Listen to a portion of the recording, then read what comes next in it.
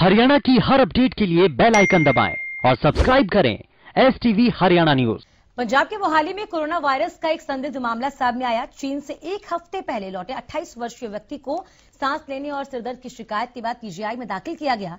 हालाँकि उन्हें वेंटिलेशन पर नहीं रखा गया। पीजीआई के डॉक्टर वनीस की गहनता से जाँच कर रहे हैं। वायरस के सैंपल पुणे के लैब को भेजे गए हैं ताकि पता चल सके कि ये नॉर्मल वायरस है या फिर कोरोना वायरस है। साथ ही पीजीआई ने सभी उत्तर भारत के राज्यों को एक पत्र लिखा है जिसमें इस तरह के मरीजों को पीजीआई नहीं भेजने की अपील की गई। उधर पंजाब सरकार ने एहतियात के तौर पर पंजाब के अमृतसर और मोहाली एयरपोर्ट में चीन से आने वाले हर व्यक्ति पर नज़र रखने के आदेश दिए हैं। साथ ही दोनों एयरपोर्ट पर थर्मल सेंसर लगाने की भी बात कही है ताकि जो भी इस बीमारी से या फिर वायरस से ग्रस्त हो उनकी पहचान एयरपोर्ट पर ही हो सके। पेशेंट बिल्कुल ठीक है आज सुबह भी वाइटल्स ठीक है ऑक्सीजन मात्रा बिल्कुल ठीक है। उनके आ, आ, हमारा एक सिस्टम होता है हमारे कम्युनिटी मेडिसिन हम इन्फॉर्म करते हैं और कल ही बाया एसएमएस सारे अथॉरिटीज को इन्फॉर्म कर दिया गया था।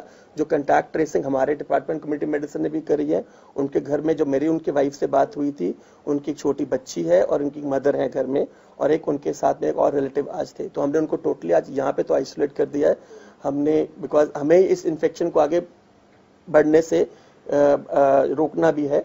So contact tracing as on date asymptomatic contacts को हम सरकार कह रही है कि उनको होम क्वारंटाइन करो, कि वो घर में रहें, जिनको कोई सिम्टम्स नहीं है। तो उनको होम क्वारंटाइन कर दिया गया है and we are waiting the report जो स्टेट के सेक्रेटरी है, जैसे पंजाब के चीफ सेक्रेटरी है, हरियाणा के चीफ सेक्रेटरी है, हिमाचल के चीफ सेक्रेटरी है चंडीगढ़ के एडवाइजर है, कल हमने उनको लेटर लिखा है जिसमें कि कहा गया है कि अगर कोई पेशेंट ऐसा है जिसका ट्रेवल हिस्ट्री चाइना का है तो उसको आप पीजीआई रेफर ना करें उसको वहीं पे आइसोलेशन में दाखिल करवाएँ क्योंकि आइसोलेशन तो सारी स्टेट में है।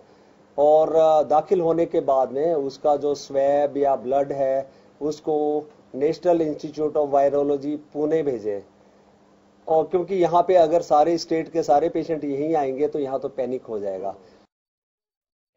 जो आया है मोहाली का वो बेसिकली